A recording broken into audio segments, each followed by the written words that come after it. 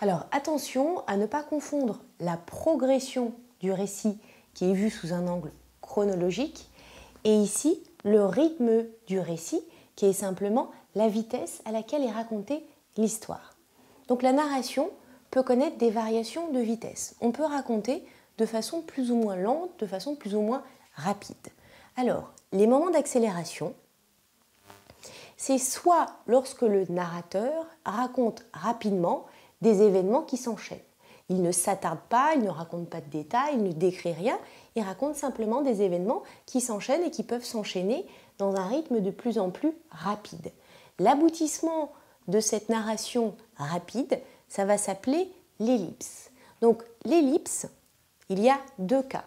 Soit on résume tout un pan de l'action en une phrase.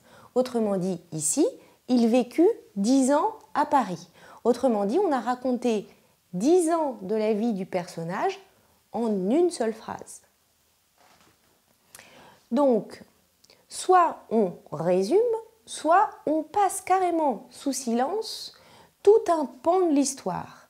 Par exemple, il naquit à Paris et devint médecin à Rouen. Qu'est-ce qui s'est passé entre le moment où il est né à Paris et le moment où il devient médecin à Rouen? Nous, on sait qu'il y a à peu près 25 ans, 30 ans qui se sont déroulés et qui ne sont même pas évoqués. Donc, ici, on va parler d'ellipse. C'est un trou dans l'histoire. Le narrateur n'est pas obligé de tout raconter.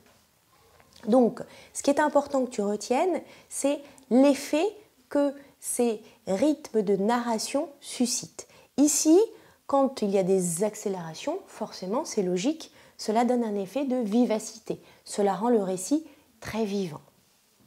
Il y a aussi donc des effets de ralenti.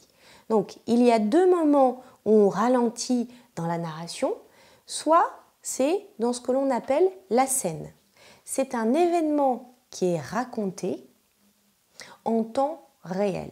Autrement dit, la durée de la narration, le temps où l'on écrit, le temps où l'on parle, est égal à la durée de l'action dans la fiction.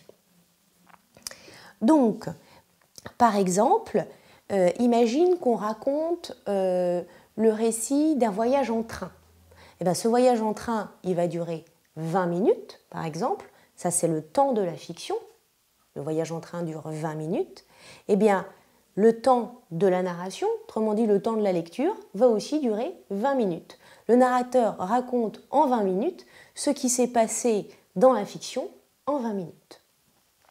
Donc, euh, l'effet ici, c'est qu'on a l'impression évidemment que la scène se déroule sous nos yeux. On a l'impression vraiment d'être avec le personnage, par exemple dans son train.